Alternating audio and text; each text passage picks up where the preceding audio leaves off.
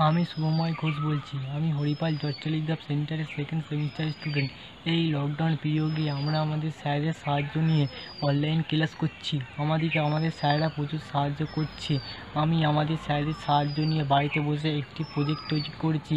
আমি সমস্ত ছাত্রছাত্রীদের বলছি, যারা আমাদের জয়চলিতায় পড়াশোনা করো, তারা সবাই সুস্থ থেকো, ভালো থেকো। আমাদের আবার একসঙ্গে দেখা হবে। আমরা আবার একসঙ্গে ক্লাস করতে আসব।